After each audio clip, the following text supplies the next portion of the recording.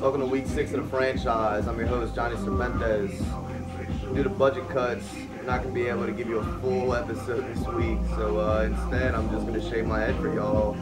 Uh, I feel it's necessary with my team losing so badly. I need to wash away the sins of this, uh, of this season thus far. Uh, I got my personal barber, uh, Brad LaBruza, and uh, you know, sometimes you just gotta shave your head. You know, I've been growing my hair out for a while now, and I feel like uh, it's just got a lot of negativity in, uh, in the hair itself. So I'm, starting brand new, people.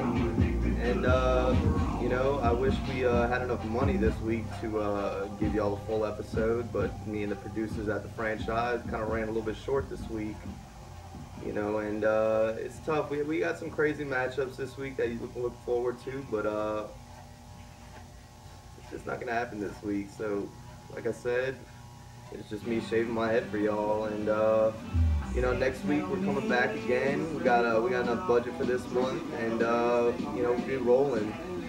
You know, follow up with some new uh, interviews, head-to-head matchups, projections, uh, waiver wire, and uh, you know, some you know, we got some fun stuff planned for the ensuing weeks.